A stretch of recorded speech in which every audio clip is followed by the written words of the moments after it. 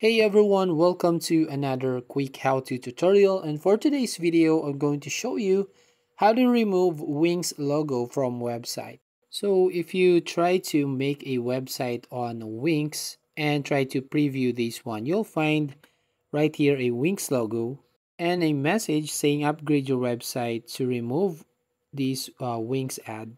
So here you have two ways on how you can remove this one. So first, if you want this as just a presentation, all you need to do is uh, go right here at the top and uh, right click this one and then click on this inspect right here and it will show up these uh, developer tools right here.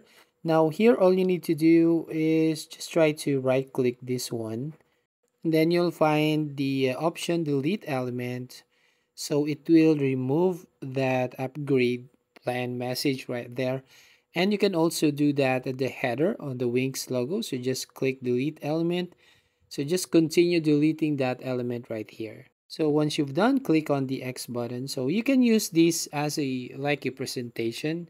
If you actually refresh this page it will show up again that message on the header. So there you go. Now the second way on how you can remove this one permanently is go to your homepage or Wix homepage and open up your account.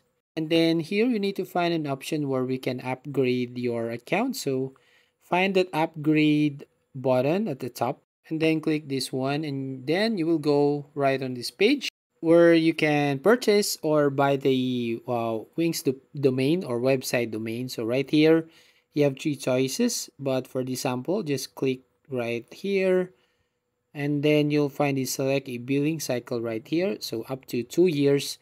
And then when you buy this one then uh, it will remove the Wix logo from your website. So that's how you basically remove that Wix logo from your Wix website.